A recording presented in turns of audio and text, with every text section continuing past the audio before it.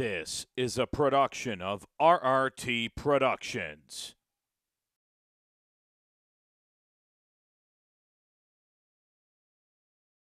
This video is copyrighted by RRT Productions.